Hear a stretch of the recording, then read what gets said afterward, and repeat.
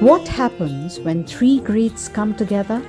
The famous Bengali poet Padma Bhushan Shankho Ghosh, the world famous Sarod maestro Pandit Tejendra Narayan, and the renowned dancer Sutapa Talukdar come together to create a unique dance drama, Mayar Khela. Based on Rabindranath Tagore's Mayar Khela, the dance drama comes alive through the vocals of famous vocalists such as Jayoti Chakraborty and Supratik Das.